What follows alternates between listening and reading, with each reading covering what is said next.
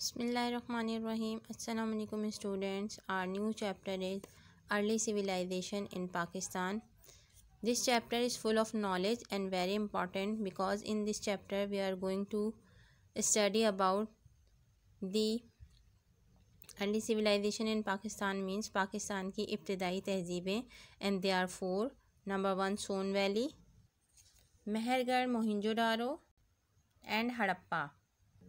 But before starting the chapter, it is very important that you know what is civilization.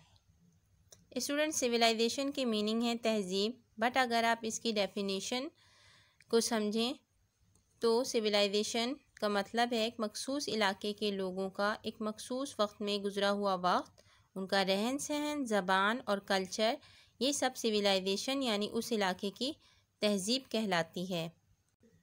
जो इलाका अब मौजूदा पाकिस्तान है, उसे बहुत सारी तहजीबों ने मिलकर आबाद किया था।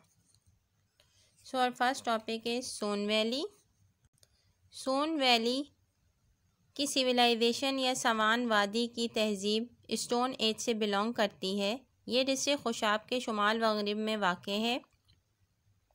माहिर आसार कदीमा यानी आर्कियोलॉजिस्ट इसको पत्थर के ज़माने से मिलाते हैं। उसकी बड़ी वजह यहाँ से मिलने वाले स्टोन टूल्स हैं, जिनमें पत्थर की कुल्हाड़ियाँ शामिल हैं।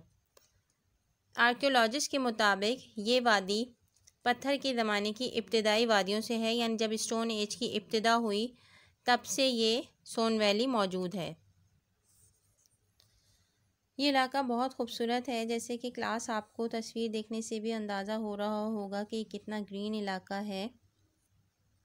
और अगर इसे जन्नत का टुकड़ा कहा जाए तो गलत ना होगा, क्योंकि यहाँ की ग्रीनरी और ब्यूटी देखने के काबिल है। यहाँ पर हर किस्म की कुदरती चश्मे, झीलें हैं। कभी कभी यहाँ पर बर्फबारी भी होती है। यहाँ पर रहने वाले लोग दराजकद, फुर्तीले, चाको चौबंद और सुरखो सफ़ेद होते हैं।